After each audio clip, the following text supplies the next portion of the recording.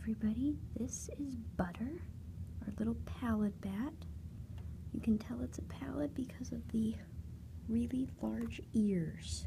It has really big ears.